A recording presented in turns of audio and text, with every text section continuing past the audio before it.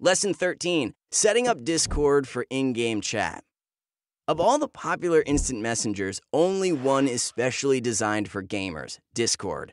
It offers text and voice chat, everything for game streaming, a mode which lets you open in game chat windows, and a bunch of other goodies.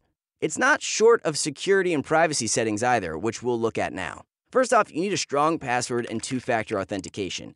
The 2FA key is sent via an authenticator app, Google Authenticator or Authy. After activating it, you can and should link the account to your phone and download the backup codes.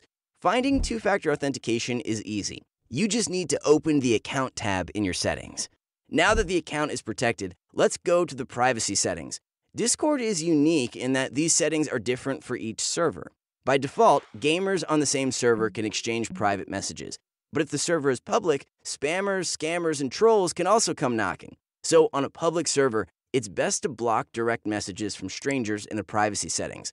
And you'll be able to continue chatting with your comrades in arms and add them as friends. If blocking DMs isn't your style, go to privacy and safety in the user settings and check the option to scan messages for explicit media content, so that at least you won't be bombarded with obscene language. There, you can also select who can add you as a friend, here, it's better to limit yourself to the friends of friends option, and then perhaps think about server members. The everyone option is too visible.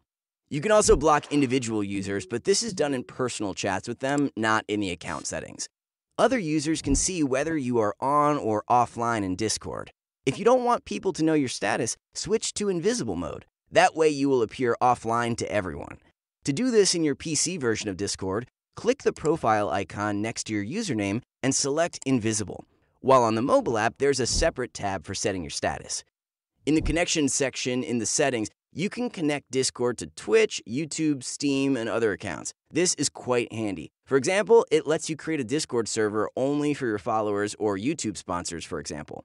However, integrating accounts involves transferring data from one service to another, which means that in the event of a successful attack, cyber criminals will gain access not only to your Discord data, but also information sent or received from other platforms. So undo connections when you are done with them. And when setting up new ones, check what information the services can access. If there's no information about this, steer clear.